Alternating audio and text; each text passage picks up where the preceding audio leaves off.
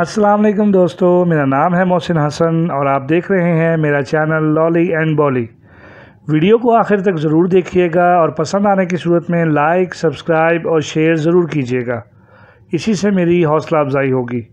दोस्तों, आज हम जिस शख्सियत के बारे में बात करने वाले हैं, वो इंडिया के एक बहुत टैलेंटेड अदाकार थे और उनके किए गए रोल्स आज भी लोग बहुत पसंद करते हैं। जी, उनका नाम है नरेंद्र झा। नरेंद्र झा 21 जनवरी 1964 को कोयला बिहार में पैदा हुए थे। नरेंद्र झा ने अपनी इब्तदाई तालीम अपने आबाई इलाके से हासिल की थी। फिर अपनी पोस्ट ग्रेजुएशन उन्होंने जवाहरलाल नेहरू यूनिवर्सिटी से मुकम्मल की थी और यही नहीं, बल्कि सिविल सर्विसेज़ की तैयारी भी की थी। बचपन में वो अपने गाँव मधुबानी में छोटे छोटे ड्रामों में हिस्सा लिया करते थे। मगर एक अदाकार के तौर पर उनके कैरियर का आगाज़ तब हुआ जब उन्होंने S R C C acting diploma course में दाखला लिया। और जब वो मुकम्मल हुआ तो वो मुंबई आ गए। और उन्हें बेतहाशा मॉडलिंग की ऑफ़र्स हुई।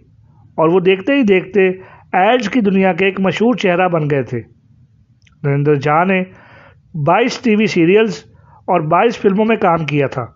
उनका पहला टीवी सीरियल 1994 में शांति था, जो कि चार साल तक चला। और उसकी 780 एपिसोड्स दूरदर्शन पर नशर हुई थी।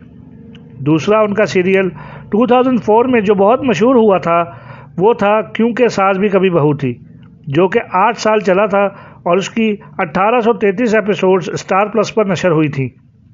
इनके अलावा 2014 में एक टीवी सीरियल संविधान भी लोगों ने बहुत पसंद किया, जिसमें उन्होंने कायद अजम मोहम्मद अली जिना का किरदार निभाया था। और इसकी भी 10 एपिसोड्स राज्यसभा टीवी पर नशर की गई थी। नरेंद्र झा ने 2015 में पंकजा ठाकुर के साथ शादी कर ली थी। नरेंद्र झा एक बहुत ही सुलझे हुए मिचोर और कमाल के अदाकार थे।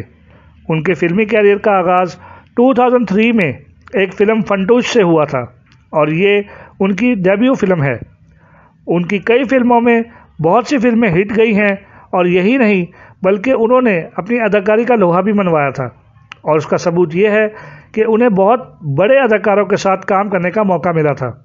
जैसे फोर्स टू में जॉन अब्राहम के साथ, काबिल में ऋतिक रोशन के साथ, घायल वंस अगेन में सनी देओल के साथ, हमारी अधूरी कहानी में इमरान हाशमी के साथ, रईस में शाहरुख खान के साथ और रेस थ्री में सलमान खान के साथ वगैरह वगैरह। नरेंद्र झा का शुमार उन अदाकारों में होता है कि जिन्होंने बहुत कम वक्त में अपनी अदाकारी के झंडे गाड़े थे और बॉलीवुड में अपनी एक अलग पहचान बनाई थी।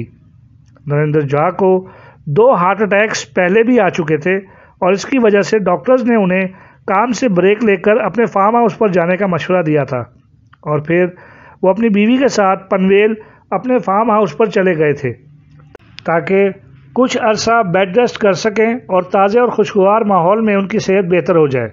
लेकिन होनी को कौन टाल सकता है? 14 मार्च 2018 को सिर्फ़ चौवन साल की उम्र में उन्हें अपने फार्म हाउस पर ही तीसरा हार्ट अटैक आया और वो चल बसे। नरेंद्र झा जैसा खुश अखलाक, कदावर टैलेंटेड और उम्दा अदाकार का सफ़र तमाम हुआ, मगर आज भी वो लोगों के दिलों में ज़िंदा है। आपको मेरी वीडियो पसंद आई हो तो उसे लाइक सब्सक्राइब और शेयर ज़रूर कीजिएगा। और बेल आइकन को प्रेस ज़रूर कीजिएगा ताकि मेरी हर नई आने वाली वीडियो आप तक पहुँच सके। अपना बहुत ख्याल रखिएगा। मिलते हैं अगली वीडियो में। अल्लाह हाफिज़।